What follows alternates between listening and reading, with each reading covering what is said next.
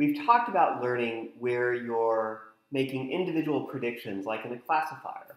We've, we've also talked about making predictions sequentially, when you have a string of inputs coming in one at a time. But what we haven't talked about is when you have an agent interacting with a world, where the decisions you make change the kinds of situations and the kinds of input that you're going to get in the future. The kind of machine learning that deals with this is reinforcement learning, and this is a subject of study worthy of its own course that's sometimes offered at the University of Maryland. But today we're just going to give a very broad overview and talk about how reinforcement learning connects with some of the other machine learning techniques that we've talked about in this course. The kinds of situations where you can use reinforcement learning are when you have an agent that's interacting with the world somehow. This could be a Roomba, a robot that's trying to figure out its way through the house to get the house clean as possible and then to find its way back to its home. It could be a factory trying to figure out what is the best way to assemble a product and get it out the door as fast and as cheap as possible. Or it could be someone playing a game where the moves that you make in a game, like in say backgammon, change the moves that your opponent will make. All of these tasks have a similar structure. There's some goal that you want to achieve, but it's a long way off. And when, say, you're building a product, you have to put a bunch of pieces together, and you only know how quickly you make the product when it's actually done. And so you have this effect of a delayed reward that you don't know how good you're doing until the very end of the process. There's also an element of exploration that as you go along, you make choices and you can try out new things, and those could be great, or those actions could be horrible, but you won't know for a while because of the delayed reward.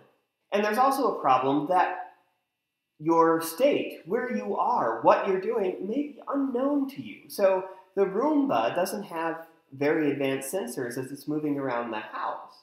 And so it may not know exactly where it is, but it needs to figure out a best guess of where it is. And from that information, take actions that will get the house clean, but also try to figure out where the heck it is in the house. One of the earliest successes of reinforcement learning was to play games. And one game in particular was backgammon. And Gary Tesauro in the mid 90s created a agent that could play backgammon. And he used reinforcement learning to learn how to do this, and it could beat uh, almost all of the best uh, backgammon players in the world just by playing itself and exploring the different configurations you can reach in a game of backgammon. We'll talk more about some of the applications and uses of reinforcement learning in a bit, but first let's define a little bit more formally what the reinforcement learning problem looks like.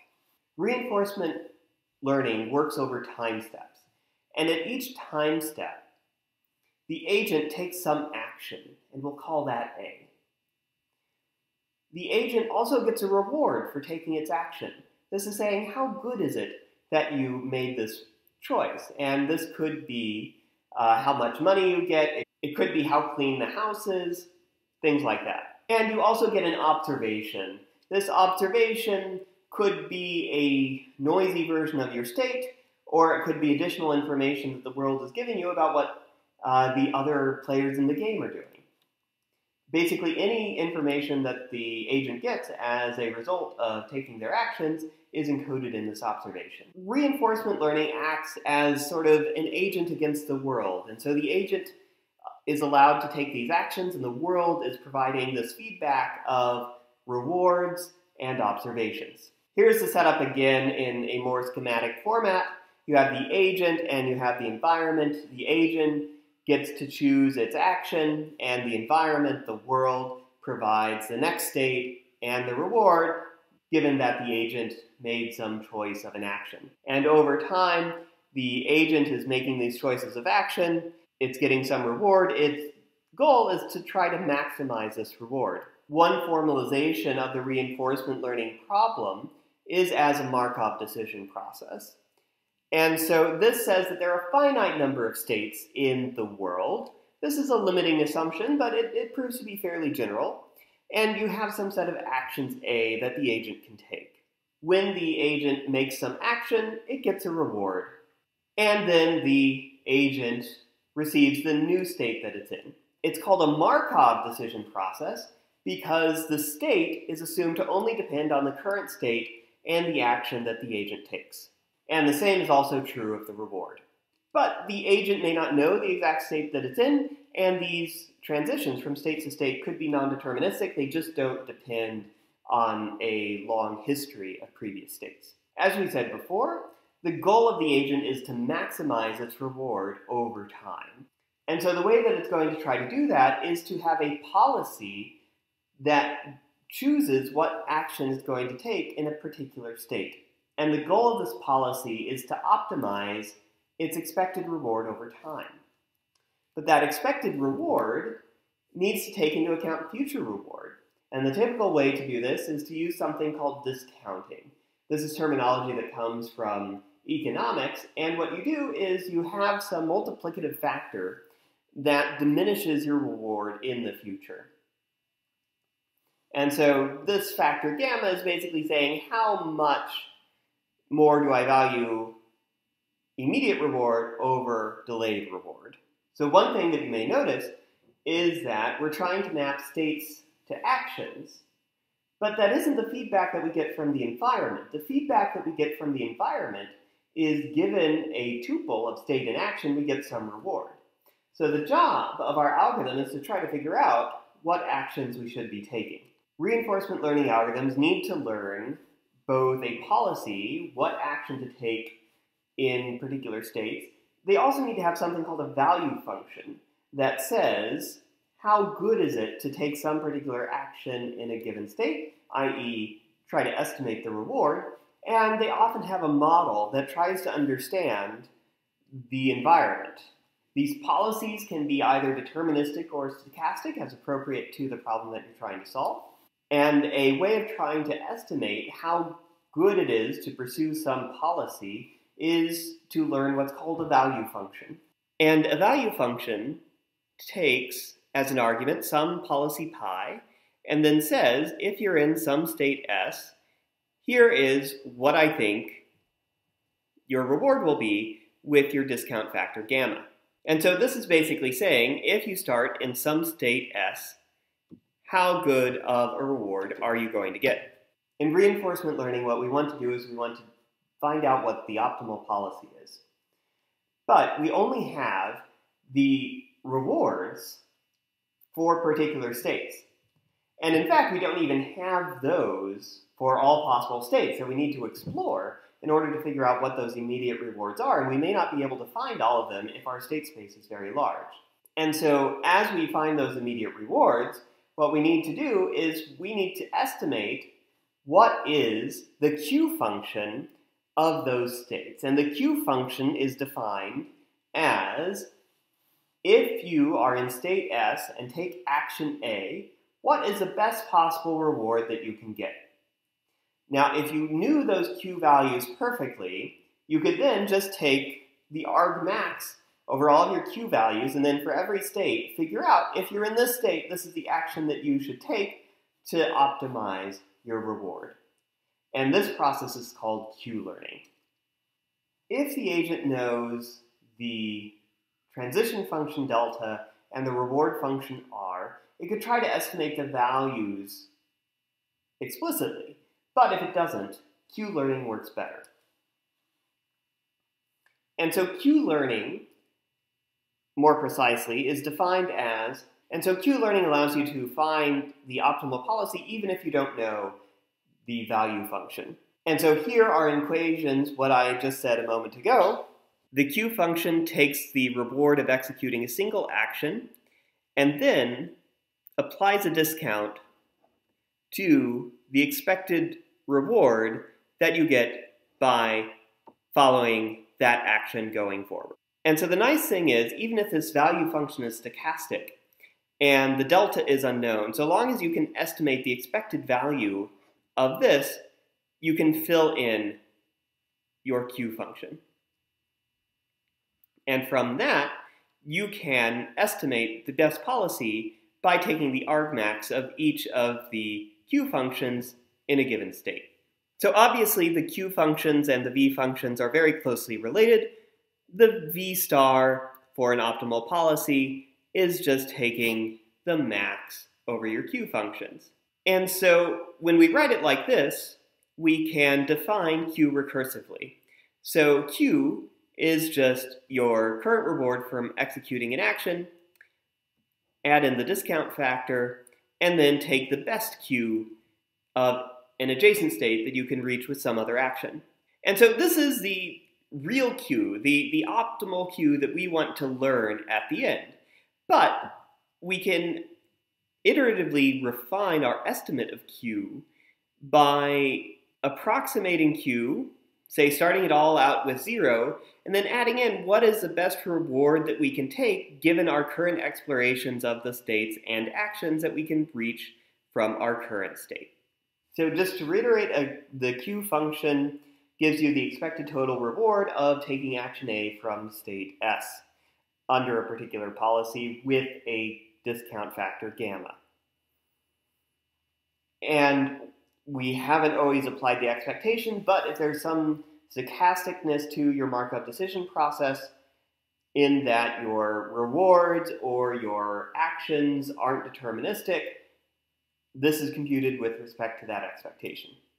And once you have this Q function, you can use that to figure out your policy. So with these equations, we now have an algorithm that we can use to try to learn a policy in deterministic worlds.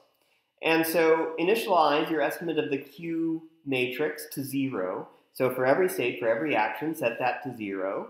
And then take some action. You get some reward. You also get a new state that you're in. And then you update the estimate of your Q function for the state that you were in, given the action that you took, based on the new state that you're in. It has some Q function. It could still be zero, but there is some value here. You look at all the possible next actions you could take, and you uh, multiply that by the discount factor and add that in to the reward that you got for the action that you took, and you update your estimate for the state that you were in to have that information.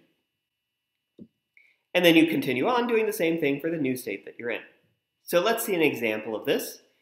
You're currently in this state here. You move to the right, and you get a zero reward.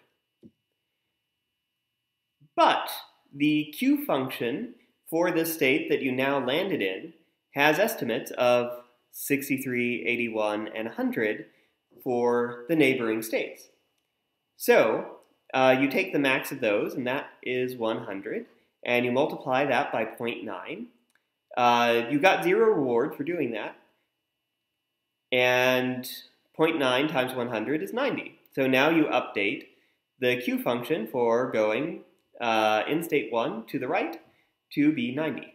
If your rewards are all non-negative, then over time, your Q functions will monotonically increase, but they will never be larger than the true Q function for those states.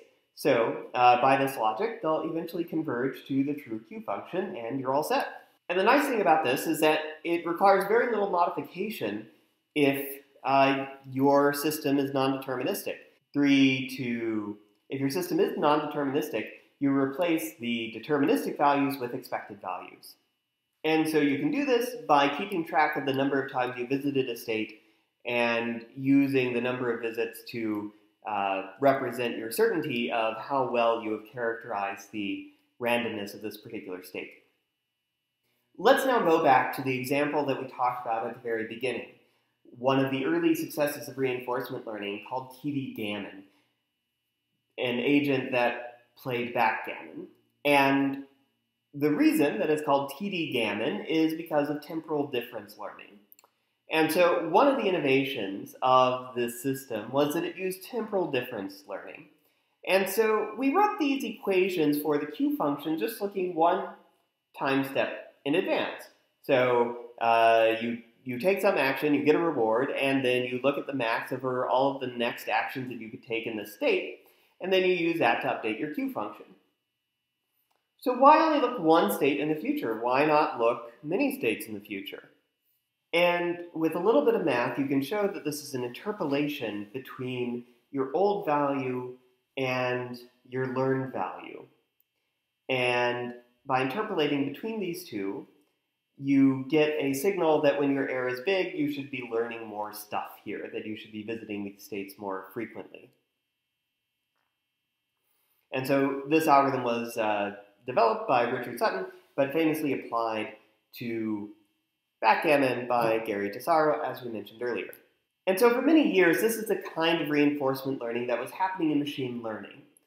But it doesn't always work well.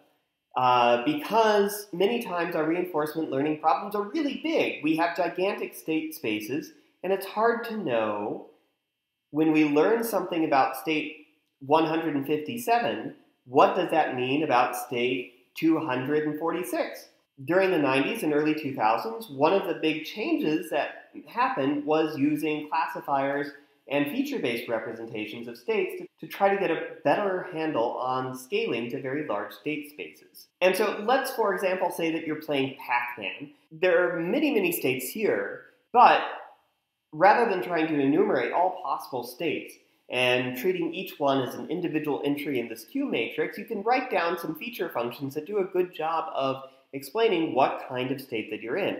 You could create features such as how close is the nearest ghost. You could also create uh, features such as where is the closest dot that will allow you to eat the ghost. Uh, you can also encode features such as is your agent in a tunnel. And so if your agent is in a tunnel and there are ghosts on either side of the tunnel, that is a pretty bad state to be in.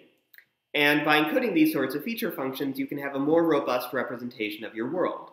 And we're going to talk about next how we can represent features in a reinforcement learning algorithm, learn from the actions of an expert, and then create a system that can imitate those actions and do a good job of interacting with this world. And then we'll be able to talk about some of the very recent changes in reinforcement learning, about going beyond feature-based representations, and talking about how we can use deep learning algorithms to discover features that do a good job of describing our environment.